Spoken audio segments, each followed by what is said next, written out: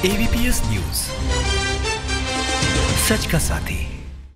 आपस में रुपए के लेन देन को लेकर तुलसीपुर नगर पंचायत के पूर्व अध्यक्ष और मौजूदा अध्यक्ष प्रतिनिधि फिरोज पप्पू के खिलाफ सैकड़ों की संख्या में ग्रामीणों ने तुलसीपुर थाने का दो दिन घेराव किया। पहले दिन मुहर्रम की दसवीं होने के नाते तो ग्रामीण मान गए, लेकिन दूसरे दिन फिर थाने का घेराव किया गया, जिसके बाद मुकदमा पंजीकृत करके कार्रवाई की बात कही गई जानकारी के अनुसार ग्राम मनकोरा काशीराम के पूर्व प्रधान रफीक उर्फ़ गुट्ठे रायनी, शुक्रवार रात बारह बजे लाल चौराहा स्थित पूर्व चेयरमैन फिरोज पप्पू के संपर्क कार्यालय पर बकाया दो लाख रुपए मांगने पहुँचे। इसी बीच रुपए के लेन देन को लेकर दोनों पक्षों में विवाद हो गया। इस विवाद को बढ़ता हुआ देख चौराहे पर तैनात पुलिस के बीच बचाव कर मामला उस वक्त तो शांत करवा दिया, लेकिन अगली सुबह भारी संख्या बल के साथ थाने पर पहुँच पूर्व प्रधान गुट्ठे रायनी ने फिरोज पप्पू पर मारपीट का आरोप लगाते हुए मुकदमा दर्ज किए जाने की मांग की। उस दिन मुहर्रम होने के कारण थाना प्रभारी शैलेंद्र कुमार त्रिपाठी ने उन्हें समझाकर कार्रवाई का भरोसा दिया, लेकिन जब शनिवार को भी मुकदमा पंजीकृत नहीं किया गया तो पूर्व प्रधान ने अपने समर्थकों के साथ दोबारा थाने का घेराव कर दिया। इसके बाद मुकदमा पंजीकृत करके उन्हें कार्रवाई का भरोसा दिया गया। प्रधान के समर्थन में रायनी समाज के लोगों ने नगर पंचायत कार्यालय और थाने का घेराव करके पूर्व अध्यक्ष के खिलाफ नारेबाजी कर विरोध प्रदर्शन किया और जुलूस निकाला। इस दौरान गुठे ने मीडिया से कहा कि मेरी बिटिया पूर्व अध्यक्ष के स्कूल में अध्ययनरत है, जिसका तेरह हज़ार रूपए फ़ीस बकाया था। हमने ग्यारह हज़ार जमा भी कर दिया था। महज दो हज़ार रूपए के लिए उन्होंने हमारी बिटिया के स्कूल वैन को भेजना बंद कर दिया। इसी कारण मैं उनके पास गया और यह कहा कि आप दो हज़ार के लिए बिटिया की पढ़ाई न बाधित करें। हमारे दो लाख रूपए पड़े हैं। इसी में से ले लीजिए और बिटिया को स्कूल आने दीजिए। इसी पर विवाद हुआ और उन्होंने मुझे मारा। चेयरमैन कह कशा फिरोज के प्रतिनिधि मुशीर पप्पू ने बताया कि गुठे द्वारा जो भी आरोप लगाए जा रहे हैं, वे बेबुनियाद हैं। हम राजनीतिक जीवन में हैं और किसी के साथ ऐसा कैसे कर सकते हैं। यह एक राजनीतिक साजिश है जिसके तहत फिरोज पप्पू को फंसाने की कोशिश की जा रही है। इस मामले पर जानकारी देते हुए अपर पुलिस अधीक्षक शैलेंद्र कुमार सिंह ने बताया कि मुकदमा पंजीकृत कर मामले की जाँच की जा रही है। मामले में सत्यता की पुष्टि होने के बाद हम उचित कार्रवाई करेंगे।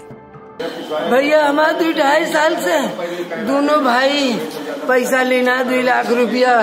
दोनों से समझौता करके लेना दो लाख रुपया लेना। कौन था क्या नाम था? फिरोज पप्पू है। रिंकू, ओकरे बाद मैया आज देवे काल देवे हमसे न मांगो। रिंकू से हमसे लियो, साल भर ऐसे कई दिन पूरा चेयरमैनी बीत गया चेयरमैनी से पहले होएगा अब ओकरे बाद में चेयरमैनी से पहले होएगा। ओकरे बाद में ये भैया उनके हम तेरह हज़ार रुपया बाकी रहन बिटिया फ़ीस स्कूल के तो ग्यारह हज़ार रुपया भेजवा दिया।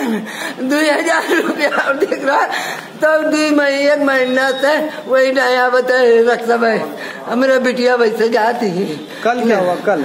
रात में गरन की भैया देखो तो हर भाई साहब ऐसा कहीं दो हज़ार रुपया करते ऐसे कि हमार गाड़ी ना भेजो तो हमारे नान मिनू बिटिया करती।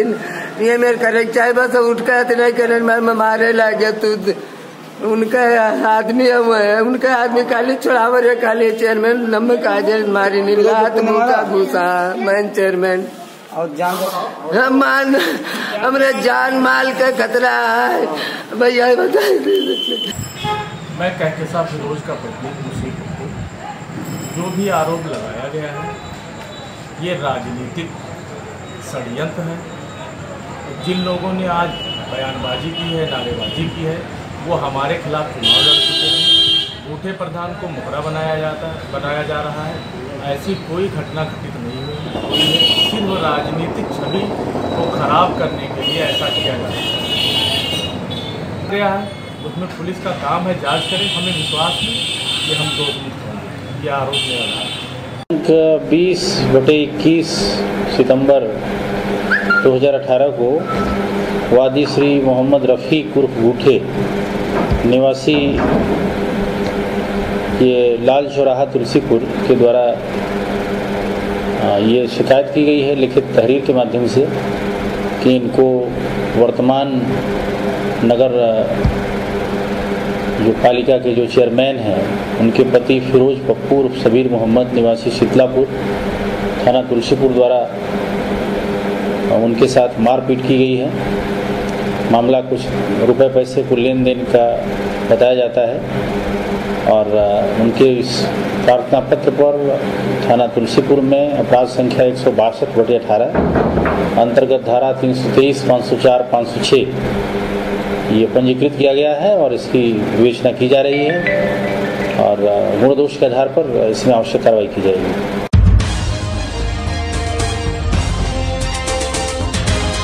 एवीपीएस न्यूज़ सच का साथी।